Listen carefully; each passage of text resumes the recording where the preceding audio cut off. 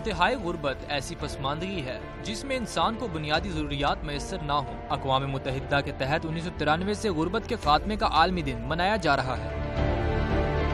मकसद है दुनिया भर से गुर्बत के खात्मे के लिए मुश्तर हमत अमली तरतीब देना। इस दिन महरूमी और अदम मसावत के खात्मे और गरीब आवाम की फलाह बहबूद के मनसूबों की अहमियत को उजागर किया जाता है। पाकिस्तान में बेरोजगारी, महँगाई और नाखवानदगी अवामी ज़िंदगी के सबसे बड़े मसाइल हैं। आलमी बैंक की रिपोर्ट के मुताबिक, पाकिस्तान की 60 फ़ीसद आबादी खत गुर्बत से नीचे ज़िंदगी बसर कर रही है जहाँ पढ़े लिखे नौजवान बेरोजगारी का शिकार हैं। वहीं गैस और बिजली की लोड शेडिंग के बायस सनती मजदूरों के लिए भी रोज़गार के मौके कम हुए हैं, जो कम आमदनी वाले खानदानों को गुर्बत की तरफ़ धकेलने का बायस बने हैं गुर्बत और इसके असरात को कम करने के लिए हुकूमती सतह पर मुआशी इस्तेकाम के इकदाम की ज़रूरत है